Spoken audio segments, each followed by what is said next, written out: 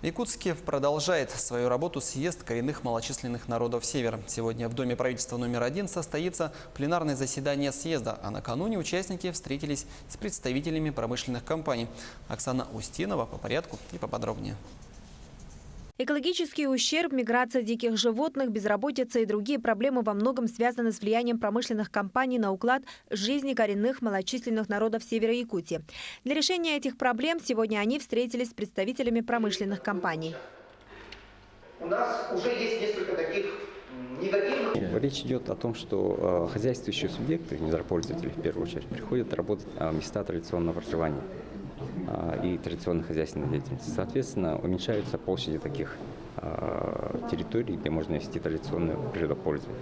Соответственно, э, речь идет о том, что со временем может настать такой момент, что деятельность промышленных компаний приведет к тому, что у нас не будет коренных малочисленных народов севера. На сегодня в Якутии существует единственный в России закон об этнологической экспертизе, который направлен на минимизацию воздействия промышленных компаний на этнос.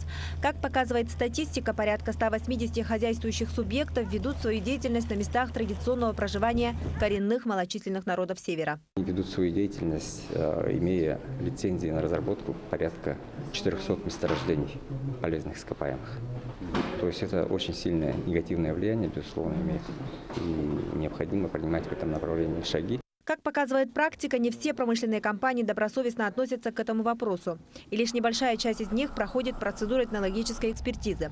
Так, акционерное общество «Прогноз» сейчас ведет работу на территории Кобяйского района. И благодаря этому в районе вводятся социальные объекты, а также трудоустраивается местное население. Наше взаимодействие основано на подписанных подписанном трехстороннем соглашении о социально-экономическом сотрудничестве между Ламанхинским наслегом, а, Кобяйским улусом и акционерной компанией «Прогноз».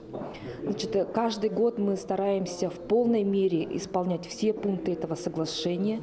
В этом году компания ставит перед собой задачу увеличить количество специалистов инженерно-технического состава. Это редкий случай, когда промышленные предприятия успешно взаимодействуют с муниципалитетом. Чтобы такая работа велась повсеместно, Ассоциация КМНС Республики создала открытую переговорную площадку «Общественный диалог. Коренные народы. Промышленность. Власть». Опыт этих площадок уникален в том, что здесь э, даже главы муниципальных образований, районов и наследов, да, они могут найти те компании промышленные, которых они не могут себя, сидя себя там в районе, найти.